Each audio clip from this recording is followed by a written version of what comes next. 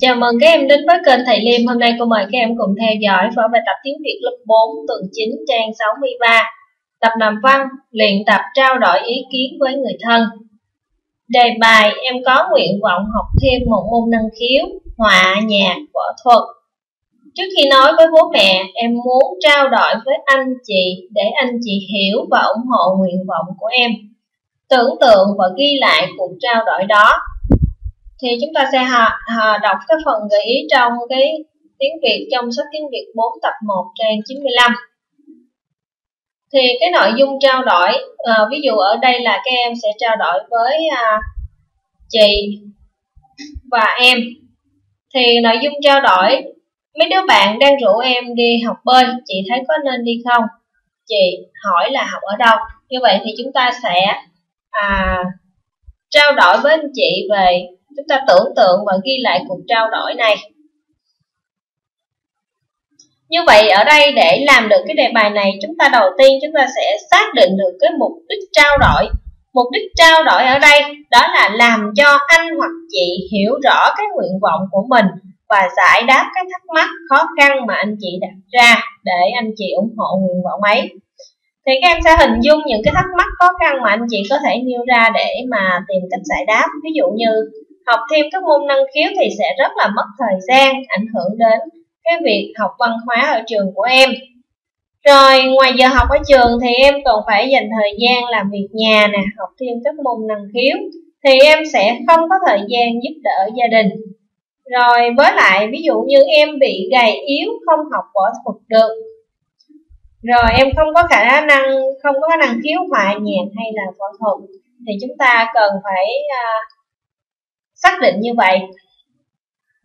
Thì ở đây cô ví dụ một cuộc trao đổi à, giữa em và chị. Em gái chị hai ơi sắp tới trường em sắp tới trường em sẽ mở lớp dạy nhạc. Em muốn xin ba mẹ đi học chị hai ủng hộ em không? Ủng hộ em nha. Chị gái mới trả lời là trời ơi học nhạc làm gì em? Em lo học cho tốt chương trình trên trường đi. Hay là em muốn làm ca sĩ? Chị không ủng hộ em đâu. Rồi em gái Kỳ chị, em thích âm nhạc, học nhạc có nhiều lợi ích. Những khi chị buồn chẳng phải chị cũng tìm đến âm nhạc sao? Hiểu biết âm nhạc cũng làm tâm hồn ta phong phú hơn mà chị. Với lại em sẽ không bỏ bê công việc học trên trường đâu. Em muốn học nhạc vì lớn lên Em muốn thi vào nhạc viện. Chị ủng hộ em đi. Chị gái, có thật là em sẽ không bỏ bê việc học không? Mà em có năng khiếu âm nhạc không mà định học nhạc? Em gái cười sung sướng, có chị ạ. À. Hôm trước trong giờ hát nhạc trên trường, cô giáo, em khen em và khuyến khích em nhiều lắm.